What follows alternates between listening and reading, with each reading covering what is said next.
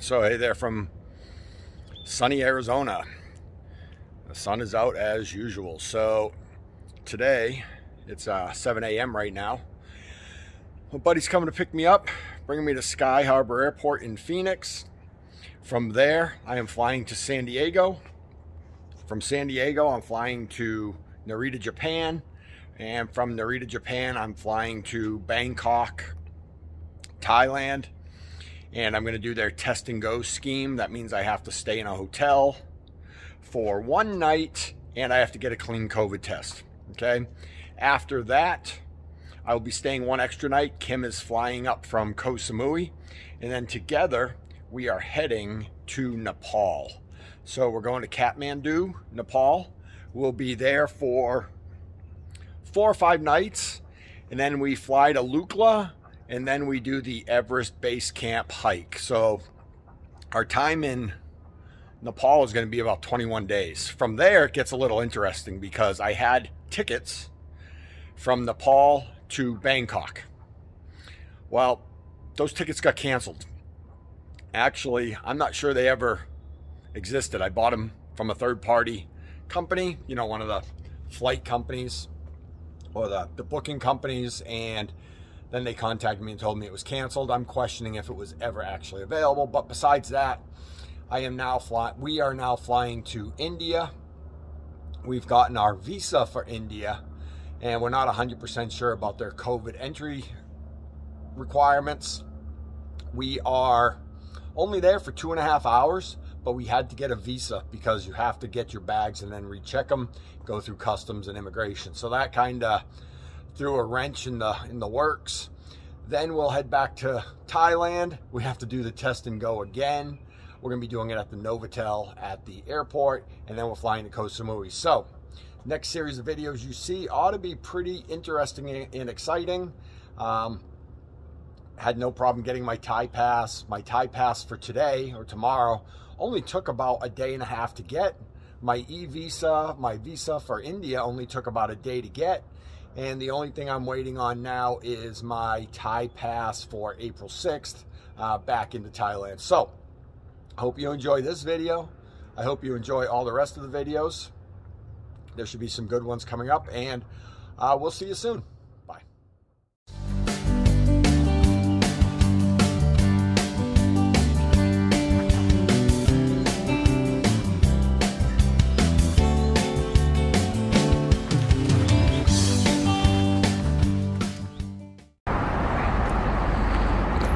Here at Sky Harbor Airport,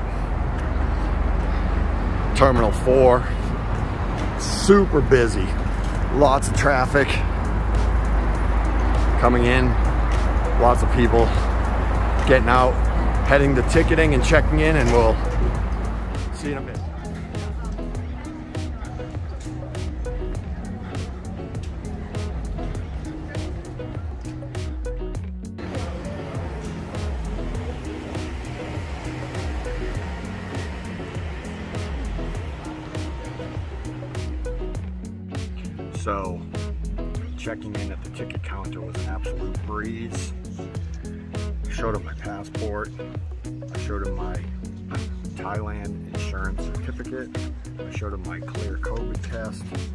Thai pass.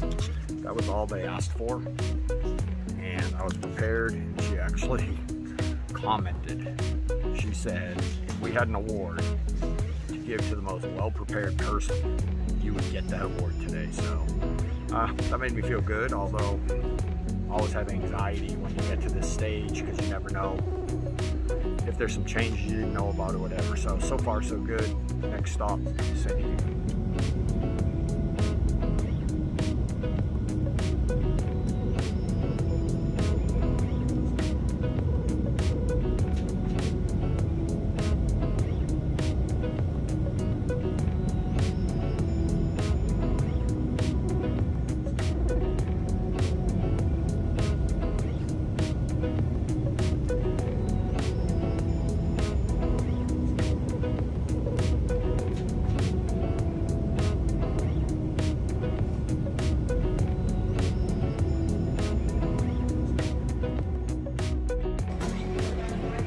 So safely here in San Diego after a 50 minute flight from Phoenix.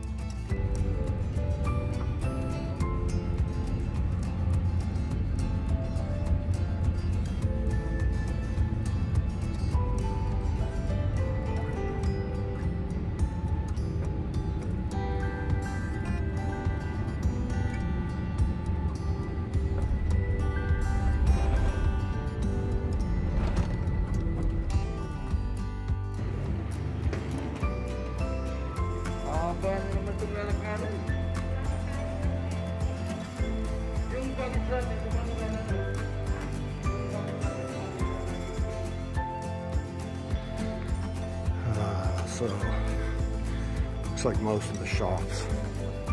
Are still closed here in Tokyo,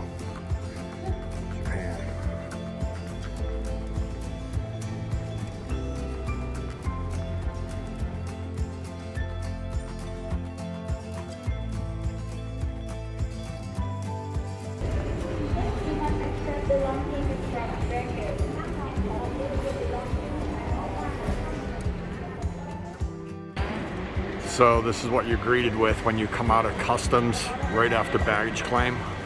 So all the hotel drivers meet you here. Um, during COVID, it's probably a lot different because the hotels actually pick up the majority of the people, but during regular times, there'd probably be a lot more taxis and stuff in this area, which can be kind of intimidating. But that's the way it is, and Gonna be on my way to the hotel here in a couple minutes.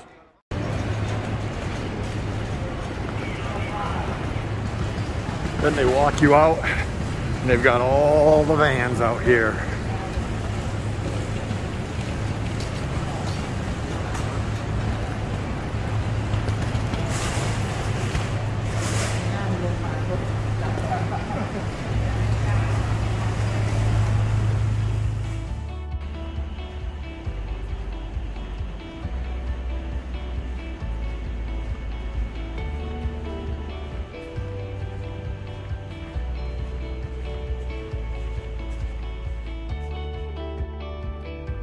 So let me just show you the room. This is the Novotel Bangkok Airport Hotel. Let me show you what it looks like outside. This shows you how close it is to the airport. That's the actual control tower. You can see downstairs, I think that's a pool. And nice areas to sit. And you can see the name of the airport right over there. To be honest with you, I can't really say it. Uh, but it's the main airport in Bangkok. So let me tell you about the room. There's room service, and this room was about $140 a night, but that included the test and go. And I'm staying here tonight for one extra night, and it's actually another $100. So this is, um, you know, by Thailand standards, a little bit than places I typically like to stay with, but the convenience factor was high. Being able to just land at the airport and supposedly you can walk here, although not on test and go. So we're gonna test that out because Kim is flying up from Koh Samui this afternoon and pretty sure she's actually going to try to do the walk. Um, see if she can walk here. Hopefully my test results are back and maybe I can go meet her. So that's it. This is the Novotel Bangkok Airport Hotel. So far it's comfortable. I kind of wish at this price that they had included breakfast and stuff. Um, they wanted an extra $19 for breakfast if I when I booked it online. I thought that was high by Thai standards. And then that pizza right there was 360 baht, so it's $12. So the place is definitely on the pricier side not a place we typically would stay at. We like the $25, $30 a night places really close to the beach. But we'll talk to you guys soon. See you in a bit. So hey there again. Just switched rooms. So I got my clear COVID test for the test and go portion of the trip. And uh, went downstairs and switched rooms just because Kim is coming. Couldn't stay in the quarantine part of the hotel. So let me just show you the new room. Big king bed. You know, pretty basic room. This room was about a $100. So, you know, by Thai standards, definitely not the least expensive room I've ever gotten. But the convenience factor's high. They said that the airport is a two minute walk. So we'll put that to a test here in a couple minutes because Kim flight arrives right around one o'clock. Takes off at 11.50 from Koh Samui. If everything goes good, you'll see us together in the next little clip. So hey there, the walk from the Novotel Airport Hotel to the domestic arrivals in the airport was super simple. In a few minutes, Kim's gonna be walking through there. I'll show you what this area looks like. It's pretty quiet. Um, it's similar to the international arrivals, except when you come out of the when you come out of that area international arrivals this area right here is just packed with like hotel people and people arranging rides and stuff like that so my guess is that when you walk out of the international arrival.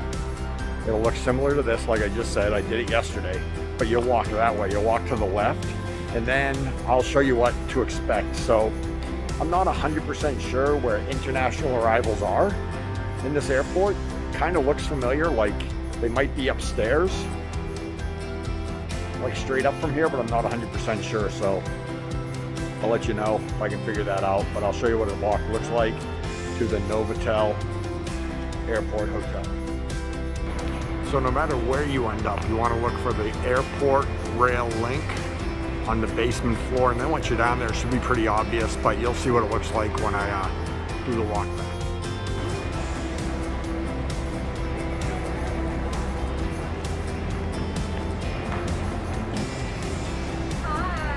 Hey, do I know you? honey. Do I know you? Yeah, I think you do. All right, I'm gonna shut this phone off because we're gonna get nasty.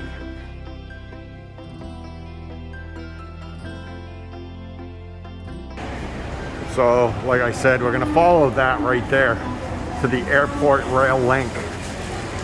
When I came up, I actually came up way down there, but we're gonna go down here and see if this works.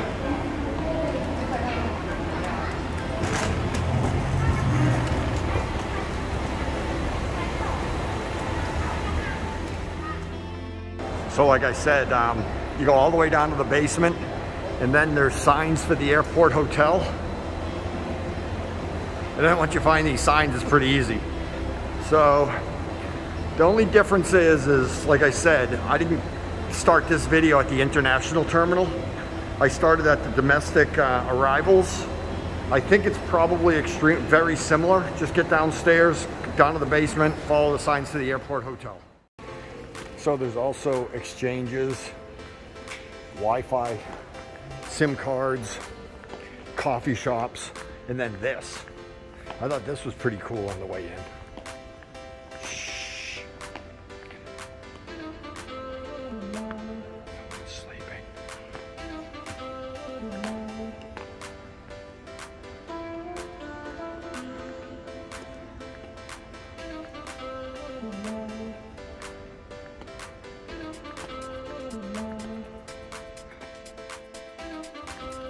But I didn't notice this on the way up. Boxtel, the only sleeping box in the airport.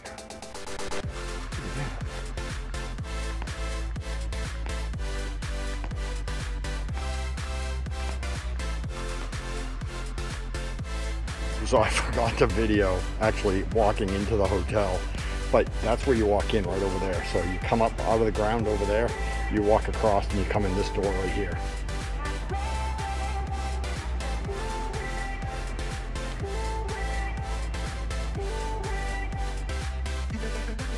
Just to show you how close we are to the airport.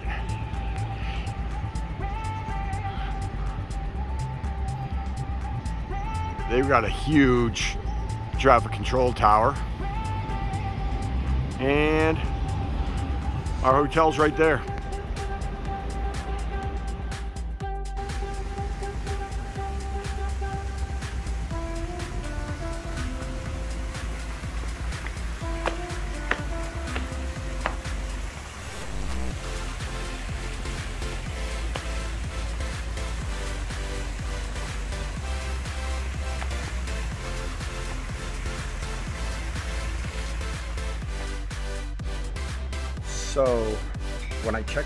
Test and Go, there was no breakfast included.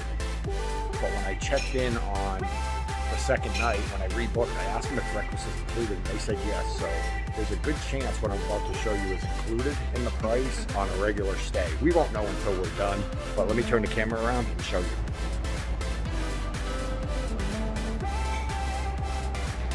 Lots of different pastries, lots of different drinks. One of my favorite things is their fruit displays. Then they've got oatmeal, muesli, cereal. They've got that. I'm coming back here because look at this. Fruit salad, longan syrup with yogurts. The bacon looks great. The potatoes look great. I'm not gonna open all these but you can see there's lots of all tomatoes, mushrooms with cream sauce, chicken sausage, uh, pork sausage. Haven't really seen pork sausage. They've got eggs. They've got all these sauces. They've got waffles. Those look fantastic. They've got French toast. And they've got these steam buns, which we will be eating those. Then they've got Thai food, stir-fried chicken, flat noodles, fried rice with sausage, coffee stand. That's what I'm starting with. So Kim and I came over to the airport to explore the airport a little bit and to help you find the the Novotel Bangkok Airport Hotel. And this is where you come out. So if you come out internationally, you end up here. All these people here are the hotel shuttles for the test and go. And right there, see that sign? Well, this actually won't do you any good because it's test and go. So you'd have to take a shuttle to the hotel, even though the hotel is literally a five minute walk right over there. But if you do come and there's no test and go, what you do is you follow that right there. See where it says airport rail link? You go to the basement, so follow that sign that way. You just go down and there's an underground walkway right through there that goes to the hotel. So that's it. Hope this helps you if you ever get here when test and go is gone. You need to get to the Novotel Hotel.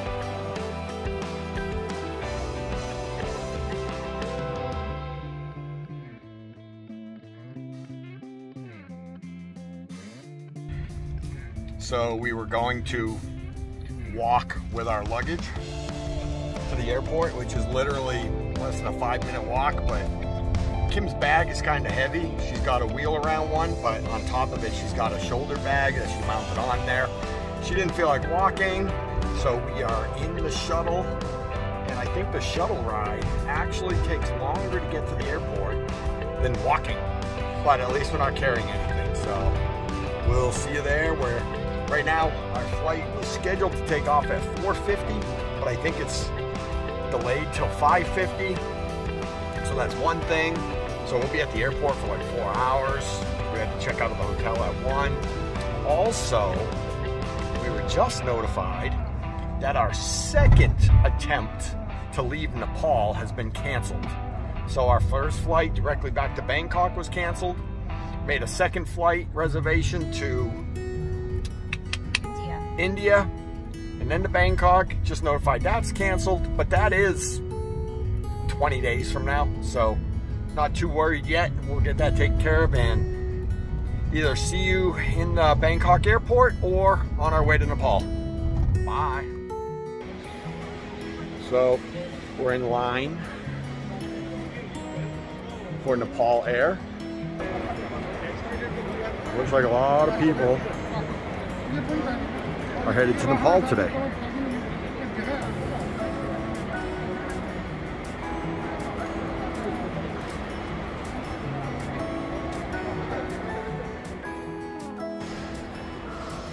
So now that we're through security and immigration and stuff, passport control, we're in the departure area. And this is an amazing statue they have here. Show it to you real quick.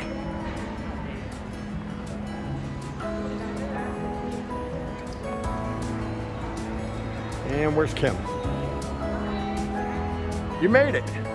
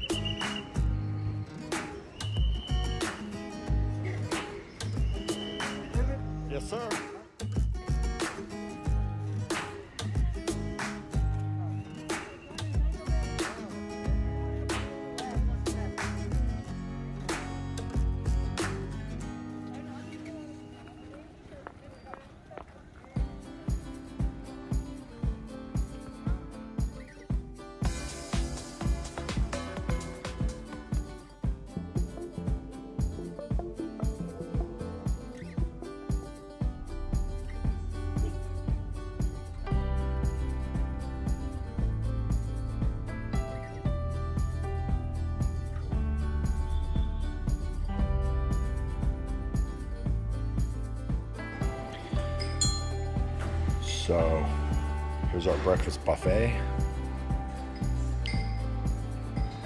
Really nice little restaurant. Set up buffet style. We arrived last night.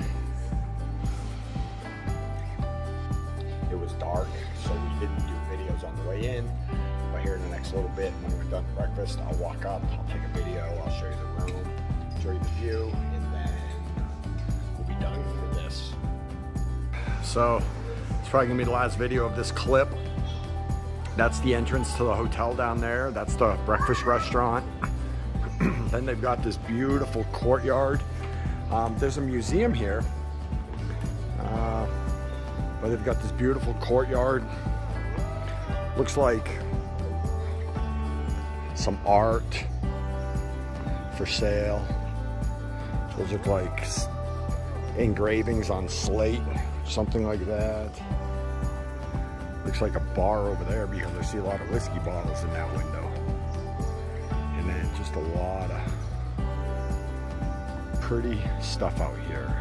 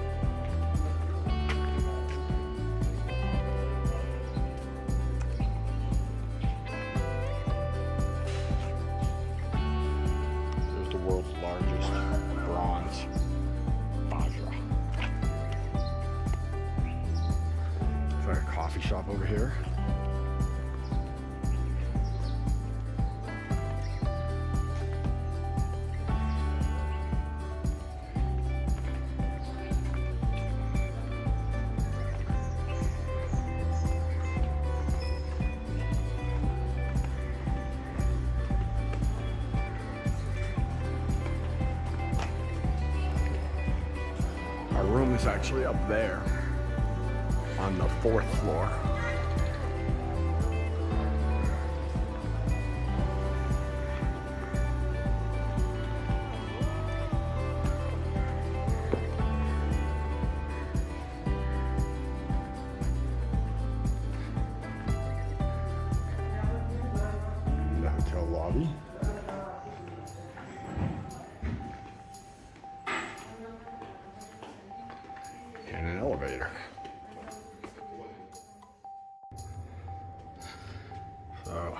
Our room.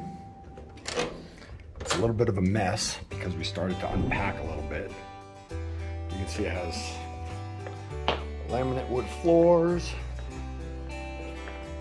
It's got a balcony. So there's the garden I was just walking through. Breakfast is over there.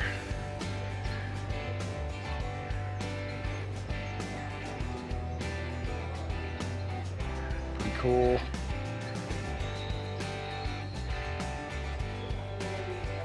Some construction.